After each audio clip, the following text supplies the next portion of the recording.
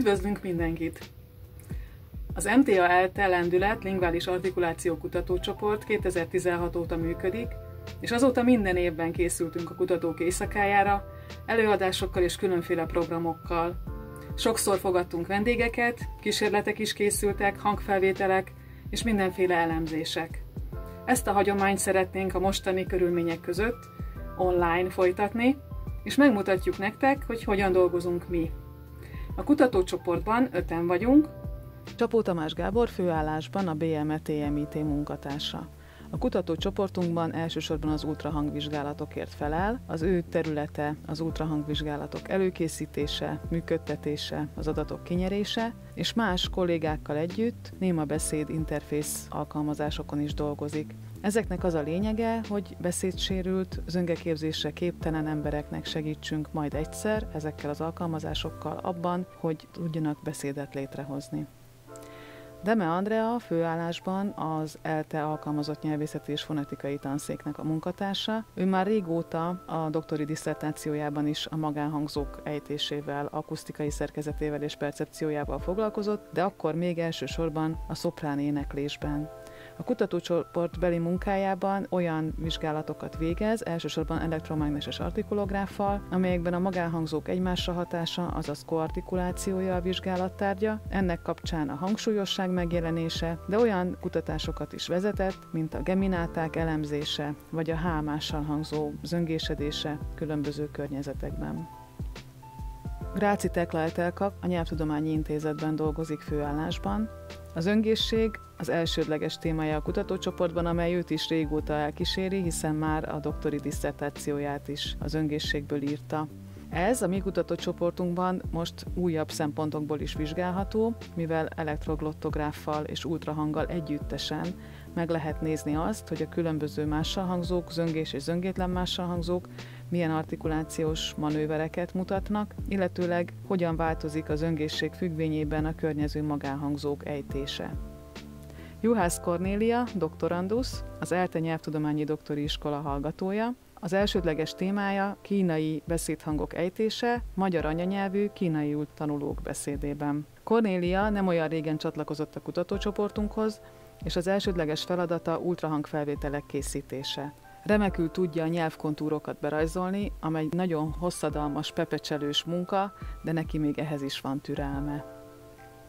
Én Markó Alexandra vagyok, a kutatócsoport vezetője, főállásban az eltén az Alkalmazott Nyelvészeti és Fonetikai Tanszék munkatársa. A kutatásaink közül elsősorban a magánhangzókkal kapcsolatos, a magánhangzó harmóniával kapcsolatos, az irreguláris zöngével kapcsolatos kutatásokban vettem részt, illetőleg a prozódia hatását vizsgáltam a magánhangzókra. Köszöntelek itt a Lingvális Artikuláció Kutatócsoportnak a laborjában. Köszönöm szépen, hogy eljöttél. Az lesz a feladatunk ma, hogy egy pár szót fel kell olvasnod, miközben a nyelvmozgásodat rögzítjük és ehhez az ultrahang nevű szerkezetet fogjuk használni. Ez maga az, ez az ultrahangos vizsgálófej, ami ugyanolyan, mint egy orvosi ultrahang, csak mi a beszéd közben ide az áll alá tesszük, azért, hogy lássuk a nyelvnek a mozgását. Ami még érdekesség lehet, vagy talán szokatlan egy kicsit, hogy hogyha ezt a fejet, ultrahang fejet csak így fognád a kezedben, akkor össze-vissza mozogna, miközben beszélsz. És azt találták ki más ilyen beszéddel foglalkozó emberek, hogy hogy egy ilyen sisakkal viszont oda lehet rögzíteni. Tehát ez a sisak az arra szolgál, hogyha megfogod, megfogjuk és így a fejre rátesszük, akkor az ultrahangos vizsgálófejet ide be lehet rögzíteni, és viszonylag egy helyben tartja a felvétel közben.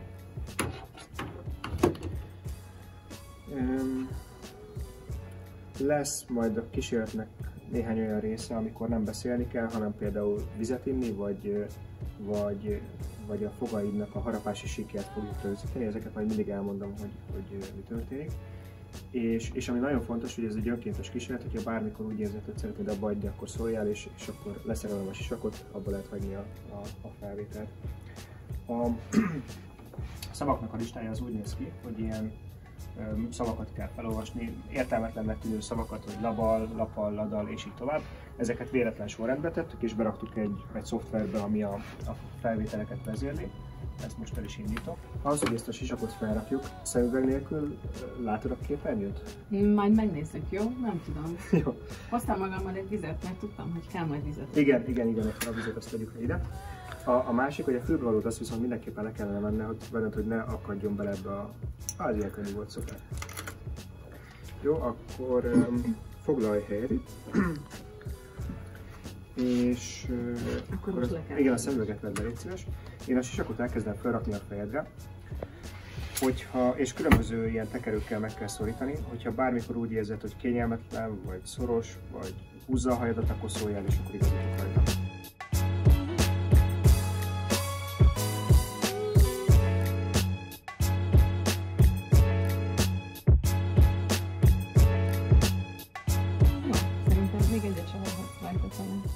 Most érzed, hogy feszít. Uh-huh. Jó, akkor annál tovább nem kell. És van még felül is néhány tekerő, azokat is megszorítom egy kicsit. Az meg fölfelé fogja emelni az egész sisakot. Jó, és itt a, a, ami az arcnál lévő, ez szerintem nálad pont jó, úgyhogy ezt nem állítom át. Akkor a következő lépés. Na, most akkor tehát még egyszer tettem zselét a, a vizsgálófejre, és akkor ezt fogjuk ide a, az állat alá tenni, a bőrhöz fogom hozzá, hozzányomni. És uh, most azt, hogy a. Már valamennyire látszik is a nyelv. Jó, hogyha ez megvan, akkor pedig ezzel a másik rögzítő elemmel ide fogom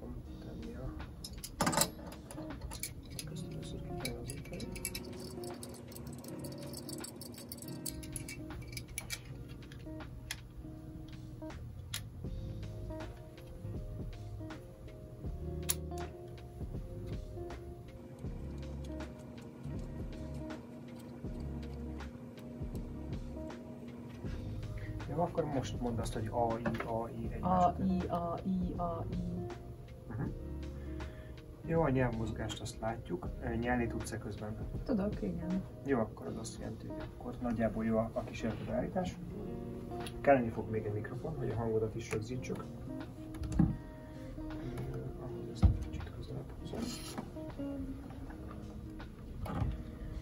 És ez pedig egy ilyen főre akasztható mikrofon. Valahol a sisakban keresek egy kis helyet, ahol elfér.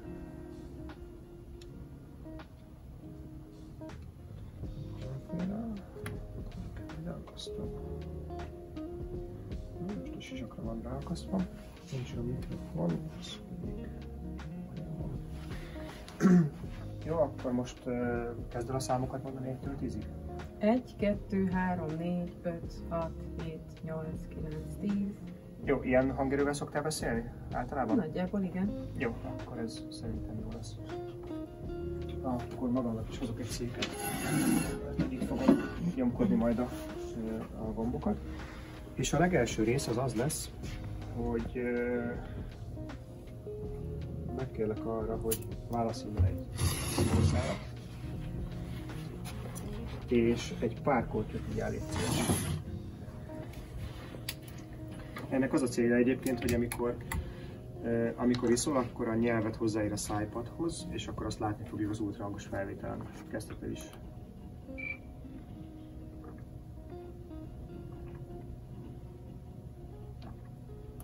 Jó, köszönöm, elég lesz. A, majd később is, a, amikor a szavakat felolvasod, és hogyha úgy érzed, hogy szomjas vagy, vagy inni szeretnél, akkor szóljál, és lehet közben szünetet tartani. Arra kérjük tehát a beszélőt, hogy igyon egy pár korty vizet, ezzel kirajzolódik a szájpad kontúrja. Erre több ok miatt van szükség. Az egyik az, hogyha több felvételen is részt vesz, és ezeket össze szeretnénk hasonlítani, akkor a szájpad kontúr alapján egymáshoz tudjuk forgatni, normalizálni a felvételeket. A másik oka pedig az, hogy ugye anatómiai különbségek vannak a beszélők között. Az egyik lehet az például, hogy a szájpad mennyire dómos, mennyire domború vagy mennyire lapos. Ahhoz, hogy ugyanazt vagy közel ugyanazt az akusztikai élményt hozza létre a beszélő, tehát ugyanazt a beszédhangot, eltérő szájpad esetén eltérő nyelvmozgásra, nyelvhelyzetre lehet szükség, és hogyha a nyelvhelyzetben vagy nyelvmozgásban találunk különbséget ugye két beszélő között, akkor meg tudjuk nézni, hogy ennek lehetette oka az, hogy a szájpadjuk különbözik. A következő dolog az az lesz, hogy egy, egy vonalzóval megnézzük a, a fogaidnak a harapási síkját. Ez egy ilyen műanyag vonalzót fog használni, amit most lefertőtnétek.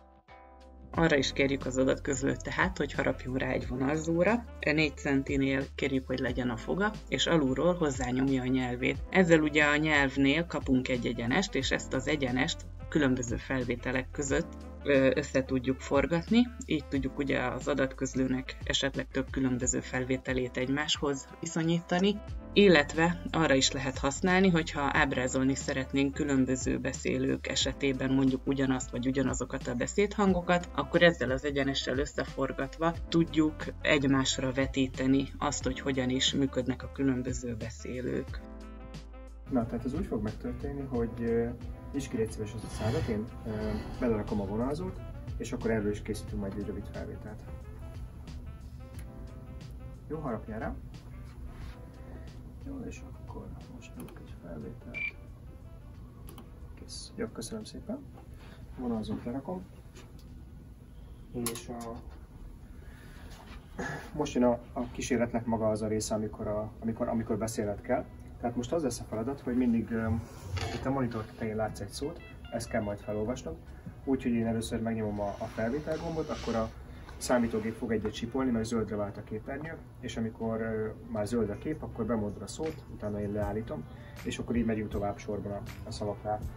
Hogyha véletlenül valamelyik szót elrontod, akkor meg azt újra felolvassuk, de erre majd figyelni fogok.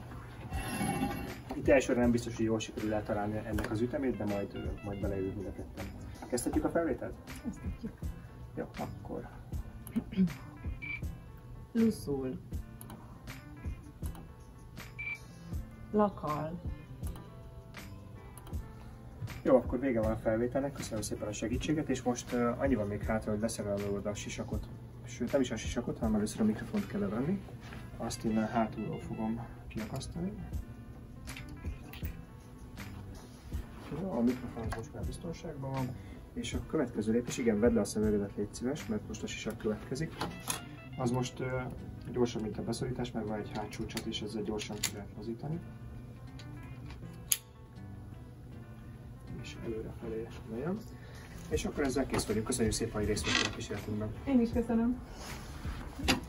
Ebben a kísérletben, amit itt láttok, más nyelvi anyagot, más ingereket vettünk fel, mint abban a kísérletben, amit az előbb illusztráltunk is nektek az ultrahang felvételekkel.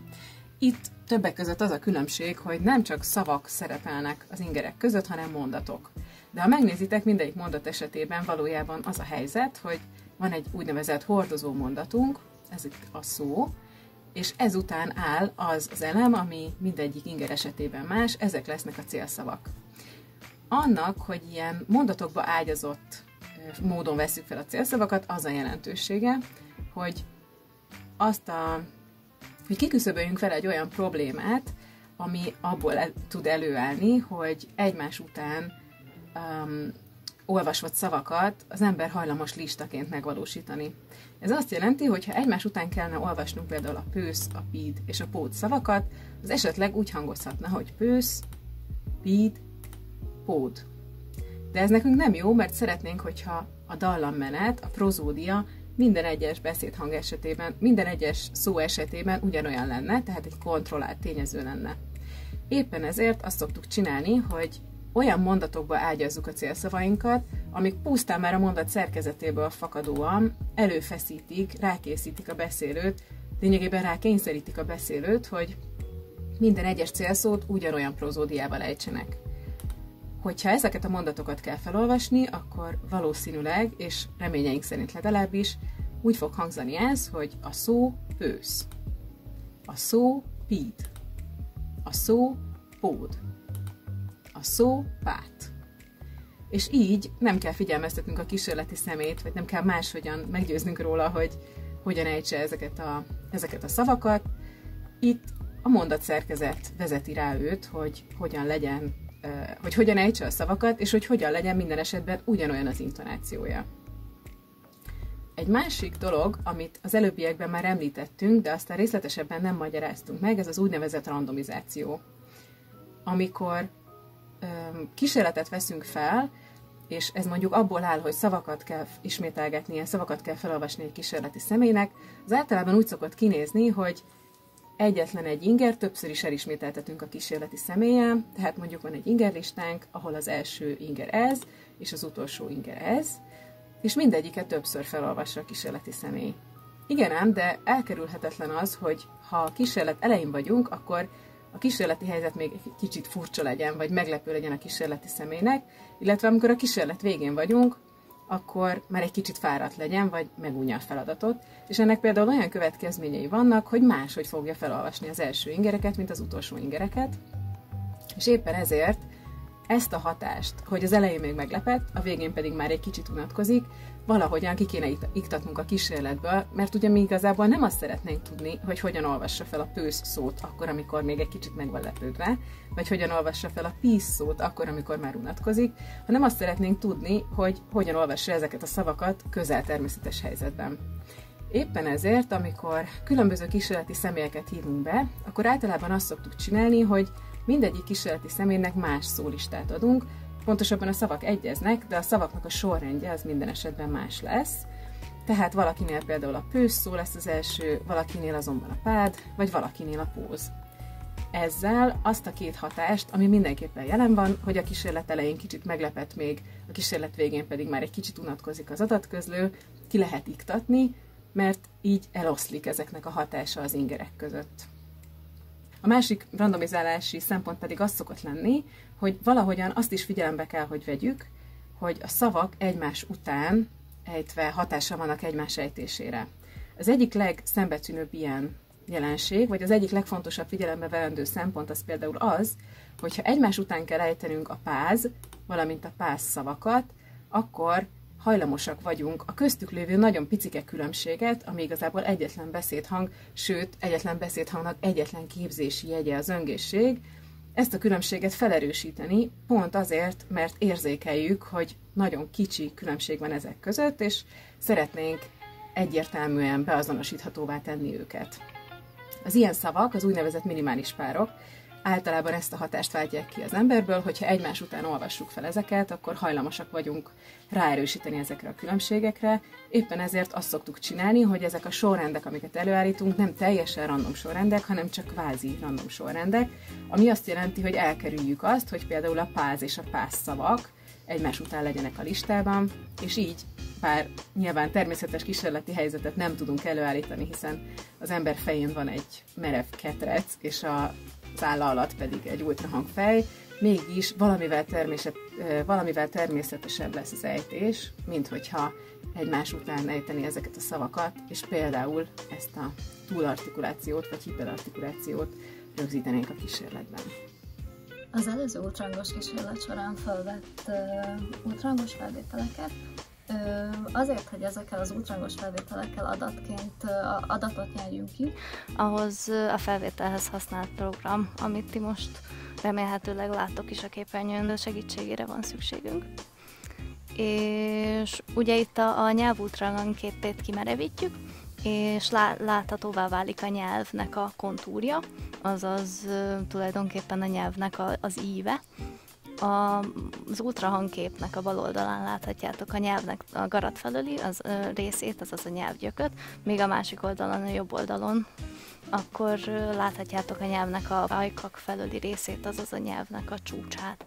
És ez az igen világos fehér ö, sáv mutatja a nyelvnek a, a, a felszínét tulajdonképpen, és ö, itt most nekünk ugye kontúrt kellene rajzolni, éppen azért, hogy ezeket a számszerűsített adatokat kinyerhessük, és amit itt tulajdonképpen csinálni kell, hogy ezt a fehér sávot alulról megközelítjük ezzel a, ezzel a, az egyenessel, vagyis inkább görbével, és megpróbáljuk minél jobban nyilván többszöri próbálkozással hozzáigazítani a nyelvnek az alsó ö, ö, részéhez ezt a görbét úgy, hogy nem maradjon a görbe, illetve a fehér sáv között feket, ö, sötét foltok, illetve részek. És hogyha ezzel meg vagyunk, akkor viszont ezeket a görbéket tudjuk használni statisztikai próbák kivitelezéséhez. Amikor megkapjuk a nyelvkontúrokat, többféle módszert alkalmazhatunk a kérdéseink tisztázására. Természetesen mindig a kérdés határozza meg, hogy milyen módszert fogunk alkalmazni. Hármat fogunk röviden bemutatni. Az egyik a generaliz- generalizált additív modell, itt most az első ábrán Z és Sz ejtése alatt látjuk a kinyert nyelvkontúroknak a pöttyeit, vagyis amiket valójában megkapunk adatként, és a két egyenes, vagy hát görbe, ami rá van rajzolva, az pedig ezeknek az átlaga. Berajzoltuk, hogy körülbelül hogy nézhet ki a nyelv átlagosan. A baloldali a nyelvgyök, a jobboldali pedig a nyelvhegy ezen az ábrán. Azt látjuk, hogy a Z esetében, ami a kék vonal, a nyelvgyök előrébb, a nyelvhegy pedig feljebb helyezkedik el, mint a sz ejtésekor. De kérdés az, hogy ez csak az átlagokra igaz, vagy tényleg igaz. Ehhez kell ugye a modellt létrehoznunk, és a következő ábrán már a modellből kirajzolt eredményeket látjuk. A mással hangzó negyedénél vett mintákat látjuk a felső, a háromnegyedénél pedig az alsó sorban. Bal oldalon nyelvkontúrt láthatunk, a becsült nyelvkontúrokat, jobb oldalon pedig ezeknek a különbségét, vagyis a z-ből kivontuk az ezt. Természetesen a számtani eredményeket is meg kell tekinteni ahhoz, hogy pontos következtetést vonhassunk le, de ennél a beszélőnél, akit most kirajzoltunk, a következőket mutatja az ábra. Most az ábrák bal oldalán lesz a nyelvhegy, jobb oldalán a nyelvgyök. A másalhangzó negyedénél fennáll tényleg az a különbség, hogy a nyelvhegy feljebb, a nyelvgyök pedig előrébb helyezkedik el az építésében. A másalhangzó háromnegyedénél azonban már csak a nyelvgyökre kaptuk azt, hogy ez a különbség fennáll. Egy másik lehetőség a nyelvkontúrok vizsgálatára például az, hogy megnézzük, hogy a görbülete milyen. Például a sző és a sö ejtések között fennáll egy olyan különbség, hogy az egyik e- ejtésben görbébb, a másikban laposabb valamivel a nyelv. Ezt többféleképpen lehet számszerűsíteni, például az LOCAI mérőszámmal, ahol is összekötjük a nyelvhegyet és a nyelvgyököt, és a, a, az egyenesre állítunk merőlegest a harmadánál és a kétharmadánál, és ennek az arányát vesszük. Ez fogja megadni a görbületi mérőszámot, vagy pedig a felénél állítani egy merőlegest, és ennek a hosszát tekinteni. Természetesen a, a szakasztól a nyelvkontúrig tartó meccéspontot figyelembe véve. Ismét egy másik lehetőség az, hogy megkeressük a legközelebbi szomszédokat. Ez azt jelenti, hogy megfogunk két nyelvkontúrt, és az egyik nyelvkontúrnak a mentén minden egyes mérési ponthoz megkeressük a másik nyelvkontúrról a legközelebbi pontot, és ezeket a távolságokat összegezzük, illetve ezt fordítva is meg kell csinálni, tehát a másik nyelvkontúrhoz az előző nyelvkontúrnak a legközelebbi pontok távolságát megkeresni. Mint említettem azt, hogy melyiket fogjuk használni, használni ezek közül, vagy a továbbiak közül, és hogy milyen statisztikát végzünk, hogyha nem a először említett generalizált additív modelleket, az azon múlik, hogy pontosan mi a kérdés.